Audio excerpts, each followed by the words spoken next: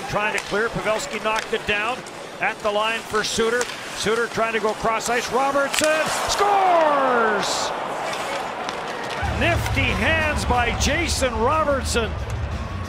Gets his 24th of the year, and the Stars have the lead. Well, it's the right idea defensively here. I think Mark Scheifele's in the right place, and his stick is in the lane, so he does a good job getting his stick off onto this puck, but he doesn't finish the play, and you don't want to leave guys that have hands like Robertson in tight. Look at the moves, the patience, and he just simply sucks Hellebuyck right out of the net and uncontested. There's the defensive stick from Scheifele, but he just doesn't complete the play, and that leaves open a threat on the back door, and Robertson doesn't make a mistake, does he? Already with career highs at 23 goals coming into the game. That's number 24 and one point shy of 50 points on the campaign.